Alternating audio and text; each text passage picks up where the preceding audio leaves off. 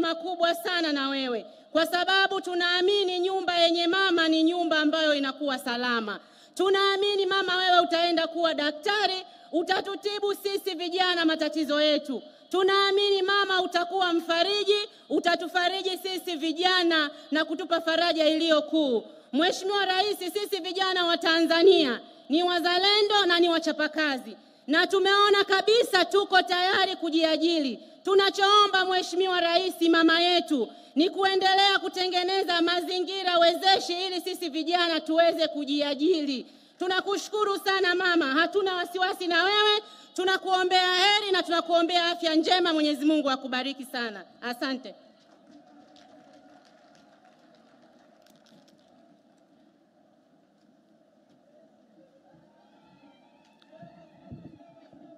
Vijana oye!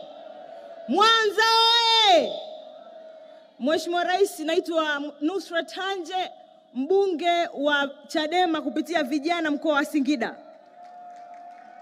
Mheshimiwa Rais, waheshimiwa viongozi, protoko meza kuu, sisi vijana wa taifa hili tuna changamoto nyingi sana ambazo kila mmoja anaweza akazungumza kwa namna yake, lakini tunatamani tupate utaratibu mzuri wa kupata vipato, tuchangie katika pato la taifa letu, ili tusaidie kulipa kodi, tusaidie nchi yetu kujiendesha na kuleta miradi ya maendeleo. Tunatamani sana, lakini Mheshimiwa Rais, kila mmoja wetu kwa nafasi yake akija akatoa malalamiko yake peke yake hatutaweza kufika.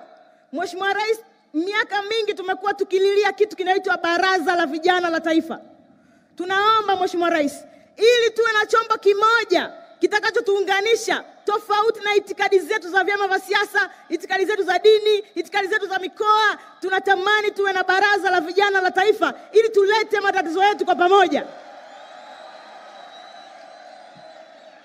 Mheshimiwa Rais, nimepata fursa ya kuwa miongoni mwa wabunge vijana na tumekuwa tunatoa mchango wetu kwenye bunge, namna ambavyo nchi yetu tunaweza tuka, sisi kama vijana tukasaidia ku, kuendeleza nchi yetu, lakini bado ninasisitiza na ninaomba sana Mheshimiwa Rais, kuna mambo ambayo mengi katika kipindi chako kifupi ulichokaa madarakani umeyafanya kwa kipindi kifupi sana.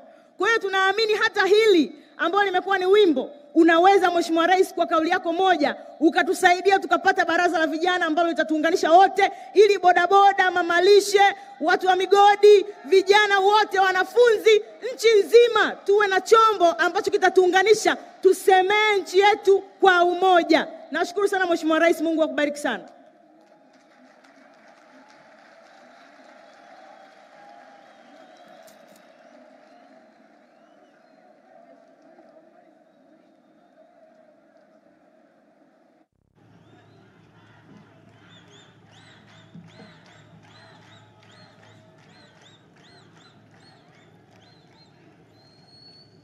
Nashukuru sana, naomba tukae.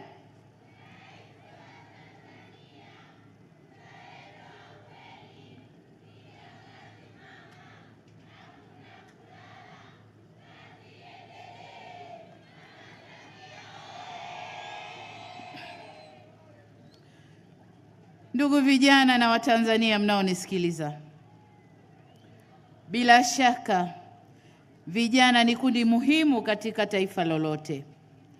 Hii ni kwa sababu kitakwimu vijana wapo wengi, angalau katika nchi zetu za Kiafrika, lakini wale walogoma kuja ku- ku- kutoa watoto kwa miaka mingi, sasa kidogo wao wana tatizo la vijana, lakini kwa sisi wa Afrika vijana ni kundi kubwa, na kwa hapa kwetu Tanzania, kwa mujibu wa sensa ya watu na makazi ya mwaka ishirini kumi na mbili katika kila watu kumi nchini wanne ni vijana ambao wana umri kati ya miaka kumi na tano hadi thelathini na tano.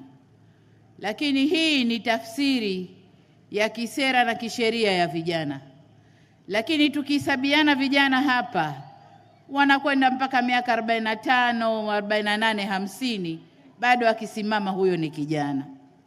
Kwa tukichanganya wote, vijana ni kundi kubwa sana lakini kwa takwimu za sasa nchi yetu inakadiriwa kuwa na vijana kama ilivyosema waziri wa sera, bunge, vijana na mambo yote, milioni ishirini na laki saba, karibu milioni ishirini na moja.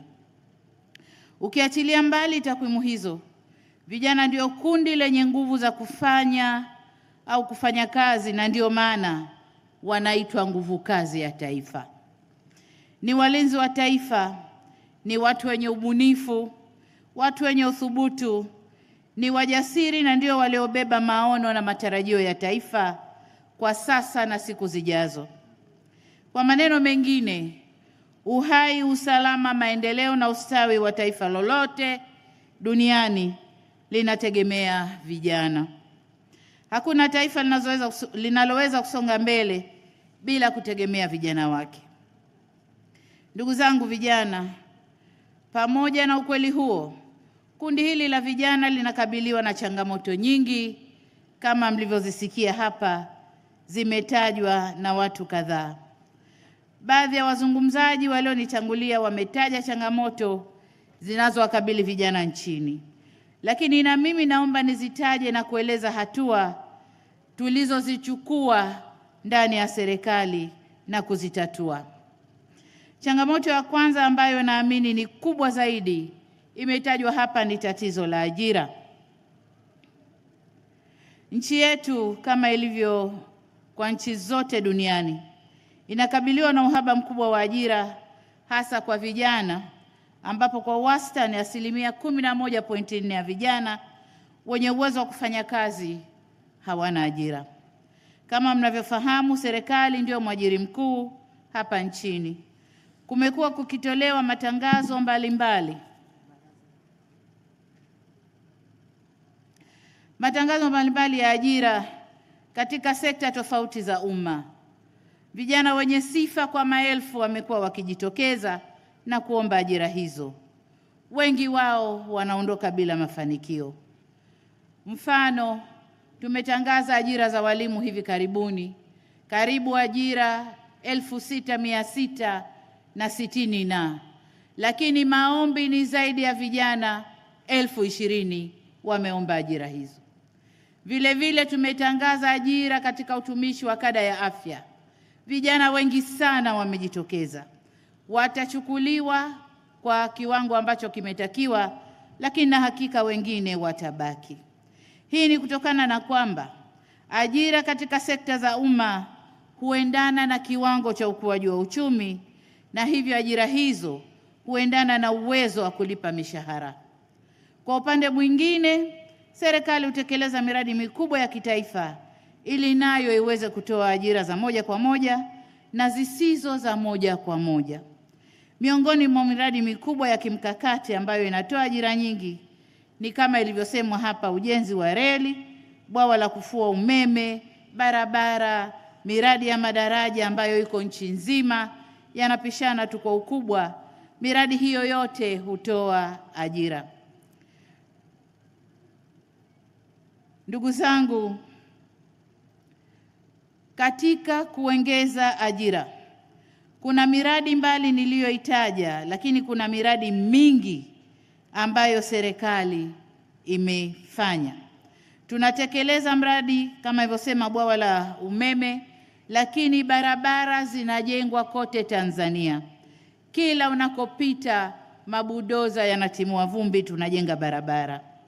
Lakini hivi karibuni tutaanza kutekeleza mradi wa bomba la mafuta kutoka Hoima Uganda kuja Tanga. Mradi huu kwa kiasi kikubwa uko ndani ya Tanzania na utatoa ajira nyingi sana. Tanzania yote ina fursa za ajira kupitia miradi ya aina hii. Tegemeo jingine kwa taifa kuwapatia ajira vijana kwa wingi ni kupitia sekta binafsi. Sekta hujenga mazingira, serikali hujenga mazingira ili sekta au wenye mitaji waweze kuwekeza katika viwanda na kufungua biashara mbalimbali ili iweze kutoa ajira kwa vijana. Eneo jingine ni pale serikali inapotoa fursa kwa kutofautisha, kutofautisha baina ya kazi na ajira.